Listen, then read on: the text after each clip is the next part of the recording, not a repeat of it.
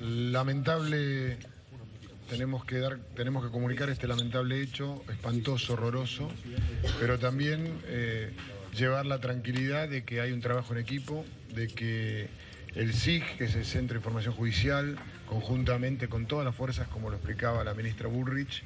eh, han hecho un trabajo pormenorizado, que van trabajando en cada uno de los sistemas y redes, que el comisionado Rojas, que hace un trabajo digamos, maravilloso que viene haciendo hace mucho tiempo conjuntamente con Gendarmería y quiero destacar el trabajo de la doctora Dupuy que ha trabajado palmo a palmo y de la doctora Dotti, que es la jueza que, que realizó todos los allanamientos en función de la investigación que hizo la doctora Dupuy. Podemos arribar a estos allanamientos, a estas detenciones y a un trabajo que continúa, que continúa porque hay mucho más por hacer.